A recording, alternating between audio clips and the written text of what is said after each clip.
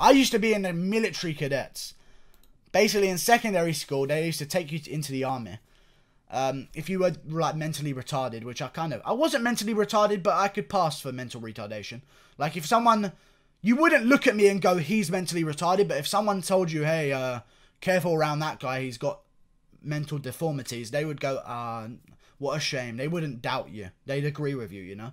So, military cadets kind of groomed me. My friend was going there. They told him to get me to go. It was all kind of a weird thing. I was in cadet camp and I was just pissing in bottles, man. And I loved every second of it, man. It's one of the best. If I would highly recommend it, even if you have a toilet on standby and you have a toilet within arm's reach, just let it go in a bottle. It's such a freeing feeling, and it never gets old.